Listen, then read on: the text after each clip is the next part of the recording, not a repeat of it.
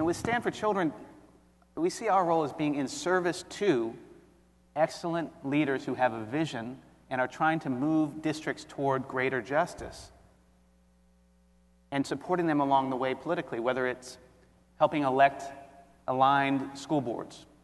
I don't know how you did it, what you did, it's a longer conversation. But every two years, in almost all these school districts, there's a referendum on the direction. Every two years. And I tell you from having tried to recruit school board members, it's a hard thing to try to recruit people. Anybody in this room been on school board? You know how hard that job is.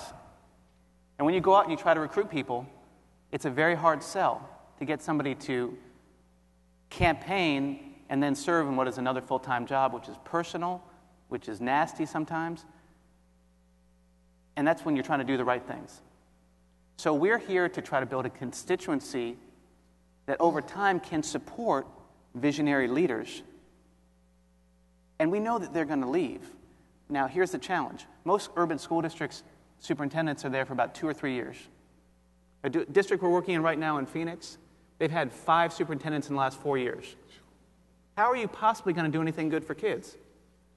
So we want to support, you know, the Tom Boasbergs of the world in Denver, so he can be there six, seven years and put some things in place, and then have a board there that will then make a good choice on a transition, because it really takes what 10 to 12 years you talked about, right? 12 years, 12 years.